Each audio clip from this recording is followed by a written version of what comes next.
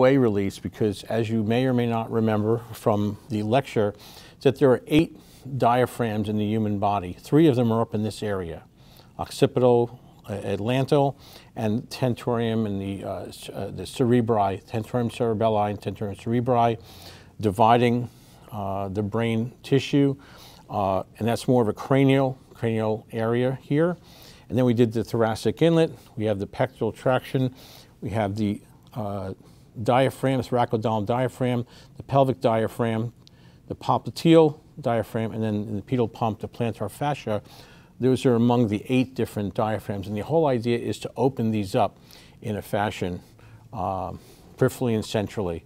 Okay, so right now we're going to do OA release. And if you remember anything, OA release, I got my fingers between the occiput and the atlantal region, and you just let the head, like a bowling ball, fit right into your hand. And you're cupping your hand and let the, let the patient, couple deep breaths in and let her head just fall right into your just let your head just fall right into my hand like a bowling ball, release. And the idea is to position your fingers at the junction of the OA region, the occipital region, which approximates the vagus nerve, which we all know is a parasympathetic part of the autonomic nervous system. And the idea is to try and inhibit that and reset the autonomic nervous system in this area.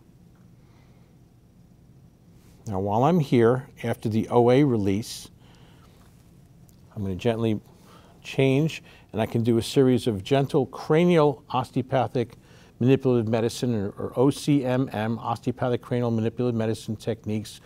Notably, I showed you the nasal lift up here before, but we can also do some gentle lifts, the parietal lift, where you gently, using the, um, using the cranial vault hold, the most important of which the index fingers approximate the ends of the greater wing of the sphenoid here, another finger anterior to the tragus or the ear, and the one behind that, and then the other one close to the occiput. And the other fingers here off the head, your thumbs crossing each other, and putting very gentle, not even a half a pound of pressure, not even a quarter pound of pressure on the head, the skull. I'm going to basically act as though I'm going to lift I'm going to exaggerate my fingers here, lifting the parietal uh, bones away from their connections to the temporal and occipital region, but you're not really doing that. Um, and so it's going to look like this, but you're doing it very gently. What you're doing is trying to open up, this, you know, trying to, to engage. We don't like to say open up, but engage the sutures to free up tissue and neurovascular restrictions. Consequently, we can also do something called a frontal lift that looks like this. Looks like I'm, I'm forming, um, looks like a, a tent or a teepee, and my, my fingers are coming together like this, and I'm raising gently, very little pressure over the, over the frontal bones that are, and lifting up this way. This is the nasal lift that we showed you before. This is the frontal lift.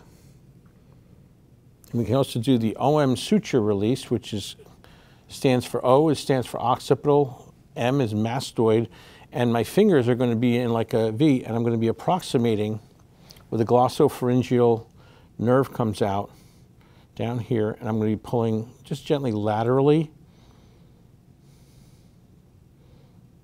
So it looks like I'm doing this, but very gently for some oropharyngeal restrictions. That should take literally a few minutes. It's very soothing. You notice everything is gentle and still above the neck.